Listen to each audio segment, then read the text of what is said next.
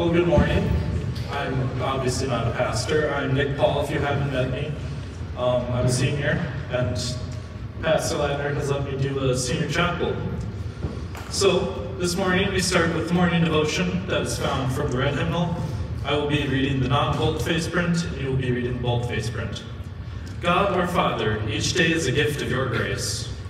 Your mercies are new every morning. Shield us from harm and keep us from evil.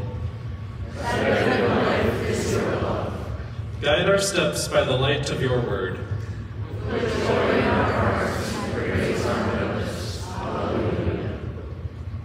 We pray. O Lord, our heavenly Father, almighty and everlasting God, you have brought us safely to this new day. Defend us with your mighty power, and grant that this day we neither fall into sin nor run into any kind of danger. And in all we do, direct us to what is right in your sight, through Jesus Christ, your Son, our Lord. This right here holds a lot of value. It's the key to my family's 2005 Chrysler Town Country.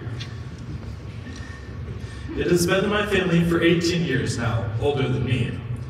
My mom drove it around for 12 years, and my siblings drove it for six years, and now it's mine. This is the van, brand new, with my siblings' smiling faces there, as you see, dated 2005.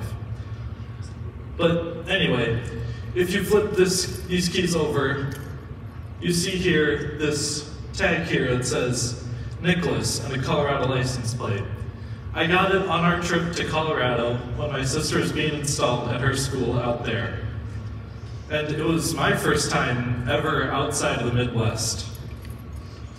Many things are valuable, and it could be a parent, a sibling, a friend, a vehicle, computer, instrument, maybe a stuffed animal. I can name everything. Jesus obviously found some things valuable.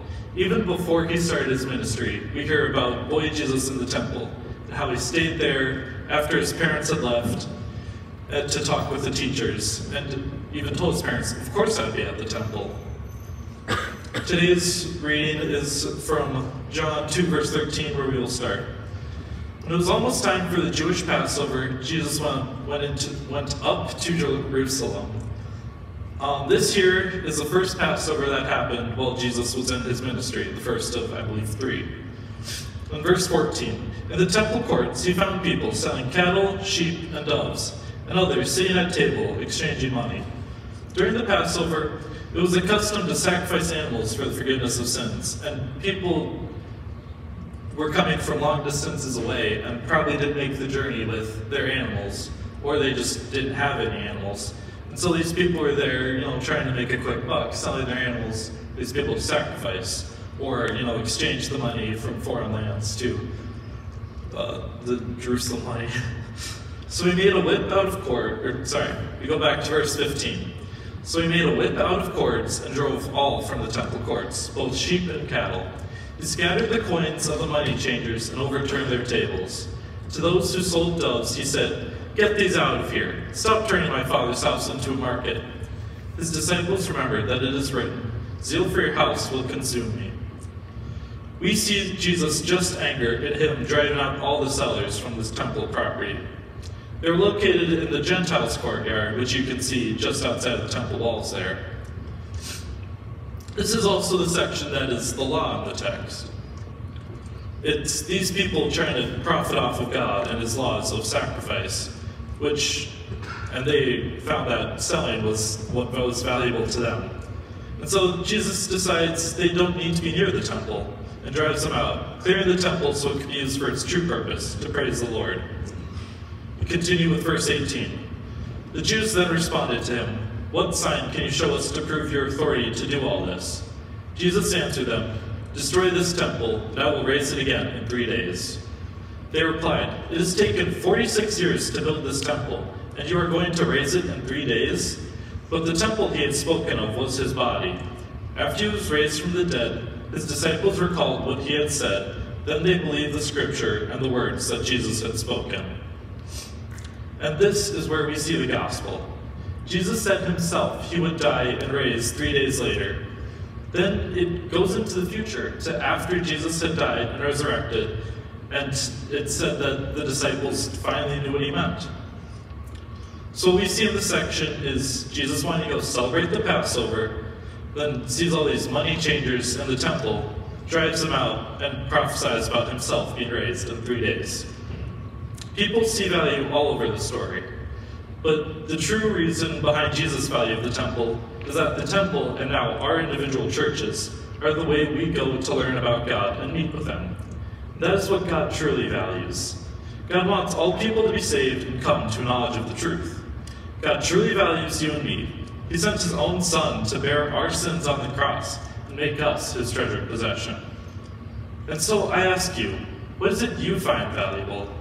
But is it what your number, number one valuable thing should be?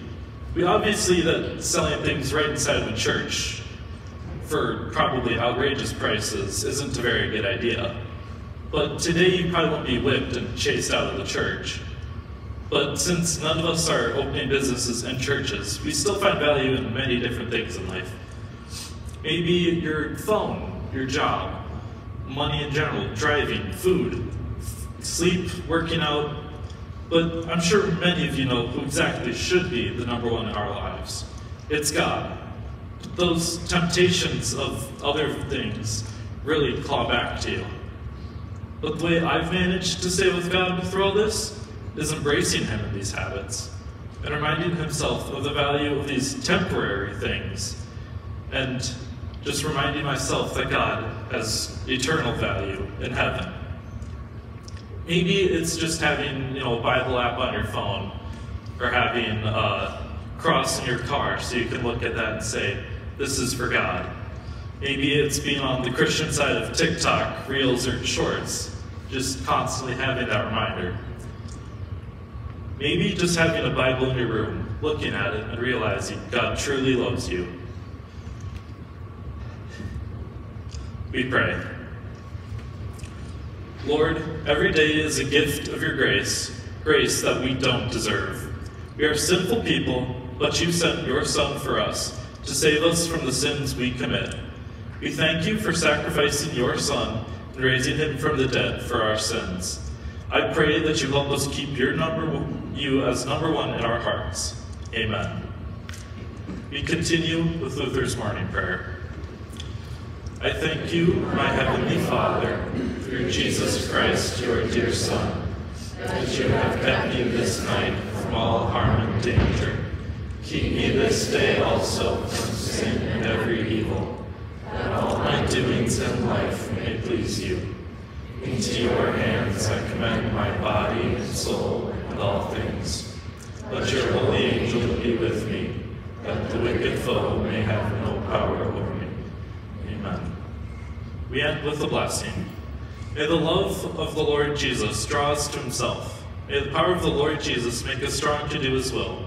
May the peace of the Lord Jesus fill our lives. Amen. Any announcements?